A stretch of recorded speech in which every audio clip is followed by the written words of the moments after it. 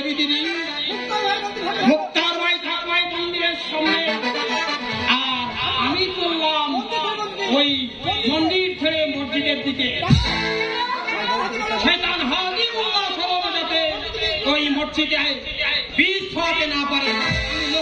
সেদিকে। চললাম মোস্তার ভাই।